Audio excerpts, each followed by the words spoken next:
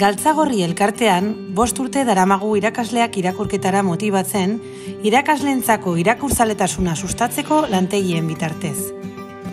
Horretarako, liburu zoragarriak erakutsi eta hauekin ikasleak irakurzaletzeko irakasle landu ditzaketen estrategiak azaltzen dizkiego.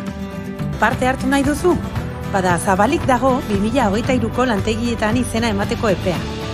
Otsaiaren amairutik martxoaren amarrera bitartean, iru bebikoitza ibigaltzagorri.eusen eman behar da izena.